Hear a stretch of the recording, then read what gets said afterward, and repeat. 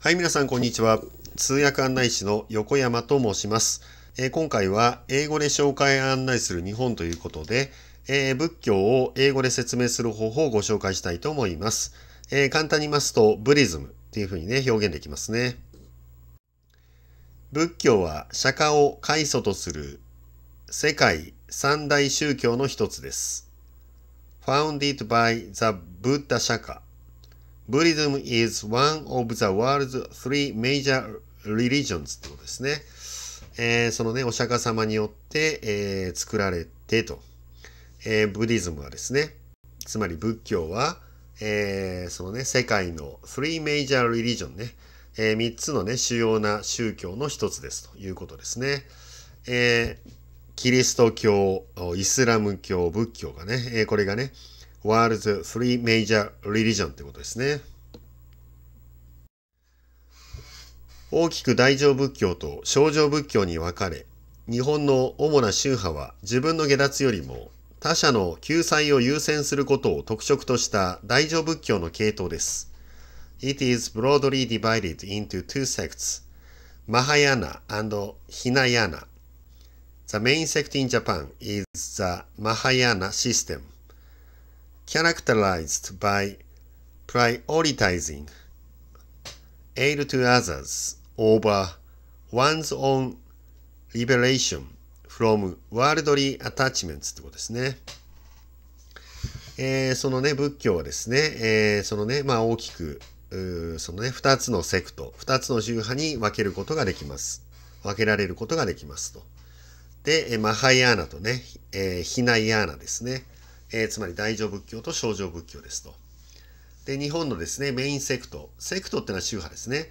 日本の主要な sect は、えー宗派はですね、えー Mahayana ですよと。つまり大乗仏教ですよと。で、大乗仏教っていうのはですね、えー characterized by でね、えーその優先させることによって、えー特徴づけられますってことでね、何を特徴づけるかっていうと、えー aid to others ですね。えーつまり、えー他者に対するね、救済、援助を、えーそのね、優先させると。何に対してかっていうと、えー one's own liberation from worldly attachments ね。えー世俗的なその執着からのですね、自分自身の、まあ、その自由ですね、解放よりもですね、えーその他者に対する救済をその優先させることによってね、えー特徴づけられるということになります。プライオリタイズってね、あのーこれプライオリティのね、まあ動詞ですけどね、プライオリタイズ A over B でね、B より A を優先するってことになりますね。えー仏教が日本に伝わったのは6世紀のことで、国家の保護のもとに全国に寺院が建立されました。Buddhism was introduced into Japan during the 6th century, and temples were built throughout the country under state patronage ってことですね。えーその仏教はですね、えー、6th century ですから6世紀の間に日本に、えーまあ、紹介されましたと。で、えーそのね、えーテンプルですね、寺院が、その国中にね、 throughout the country ですからね、日本国中に作られたと。 under、state patronage っていうかね、えー patronage っていうのはね、えーこれはあの、保護って意味ですから、国家の保護のもとにってことですね。まあ当時ね、鎮護国家ってことでね、まあ国がその仏教を保護してね、で、あの国分寺とかね、まあ、あの国分尼寺ね、その国中に作りましたよね。まあそういうお話ですね。えー鎌倉時代になると日蓮宗や浄土宗をはじめとした数多くの宗派が派生し民衆にも浸透していきました。Many sects, including 日蓮 and 浄土 Pure Land, arose during the 鎌倉 period and Buddhism spread to the masses ってことですね。えーセクトっていうのはね、宗派って意味ですから、えーたくさんの宗派ですね。例えば日蓮宗や浄土宗。まあ、浄土宗はですね、ピュアランドっていうふうにね、あの、訳せますね。arose ってのは arise のね、過去形でね、まあ、生じるって意味ですね。えーですから、鎌倉時代に、えー生じましたと、生まれましたってことですね。そして、 Buddhism ね。 spread ってこの場合ね、過去形の spread ですね。 spread、spread、spread ってね、同じ形でね、派生、あの、活用しますけどね、この場合過去形ですね。えー、そのね、 Buddhism は、えー、つまり仏教はですね、 the masses、一般大衆に広がりました。ということですね。現代日本では国民の8割にあたる9600万人が仏教徒と言われますが、仏教徒であるとはっきり自覚している日本人は少数派です。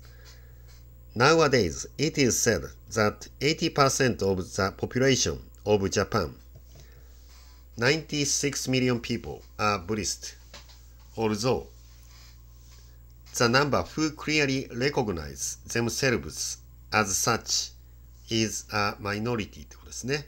えー、今日ではですね、以下のことが言われてますと。えー、そのね、日本のポピュレーション、人口の80%ですね、80%が、えー、仏教徒であると。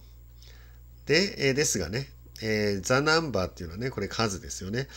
えー、そのね、自分たちをアズサッチってのはそういう人として、そういうものとしてってことですね。つまり仏教徒としてですね、認識、明らかに認識しているね、えー、人々の数はマイノリティ、少数派ですってことですね。少数派だけれどもってね、情報してますね。えー、しかし仏教精神に基づいた文化は、一般の日本人が自覚しないところで根付いており、神道やキリスト教とともに日本人の生活を彩っています。Nonetheless, cultural practices based on the spirit of Buddhism have taken root among the Japanese, and along with Shinto and Christianity, Buddhism as color to their lives ってことですね。なんざレスってのはね、それにもかかわらずってことですかそれにもかかわらずですね。えー、このカルチャーからブリズムまでがね、主語ですね。えー、つまり、えー、仏教の精神に基づいたですね、その文化的な習慣はってことですね。カルチュラルプラクティスはね、えー、日本人の間にテイクンルートね。テイクルートってのは定着するって意味ですよね。もともと根付くって意味ですからね。えー、定着してますと。そして、えー、そのね、神道とか、その、まあ、キリスト教とともにですね、えー、ブリズムは、そのカラーですね、その色をですね、その、彼らの生活に加えてますと。つまりね、まあ、影響を与えてますってことですよね。まあ、日本語だとね、生活を彩ってますってなってますけどね。as color to their lives というふうにね、訳してますね。はい、えー、今回もですね、英語で紹介案内する日本を使って、えー、説明をしました。